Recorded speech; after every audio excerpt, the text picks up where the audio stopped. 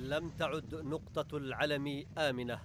قصف أمام بوابتها جنود الجيش في غصص الماضي بطائرات إماراتية وأضحت حاليا مصدر تهديد للمواطنين العائدين إلى عدن أو عبرها.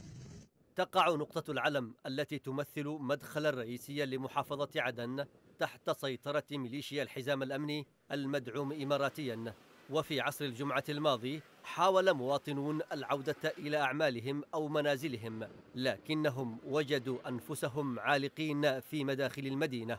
ووفق رواية مصادر محلية فإن العديد من الحافلات المدنية التي تضم العشرات من العائلات تم احتجازها مسبقا في مدخل زنجبار من قبل نقطة تابعة للحزام قام أفرادها بقطع الطريق بين عدن وأبين احتجاجا على عدم صرف رواتبهم لكنه حاول حرف مسار الحادثة باتجاه توظيفها سياسيا لصالح صراعه مع الحكومة والجيش.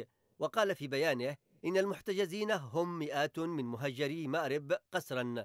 ورغم أن بيان الحزام اعتبر ذلك جريمة إنسانية إلا أنه وعد بتأمين وصول المحتجزين أي تهجيرهم إلى محافظاتهم الشمالية. حوادث التقطع للمدنيين في مداخل المدن الجنوبية الواقعة تحت سيطرة الانتقال تجدد التساؤلات عن اتفاق الرياض الذي وعد اليمنيين بحل نهائي يضمن عودة الاستقرار والأمن لعدن. وهو وعد لم ينجز بعد ما يجعل المواطنين الضحايا الصراع السياسي أينما ذهبوا في أسواق المدن ونقاطها الأمنية أو على بواباتها.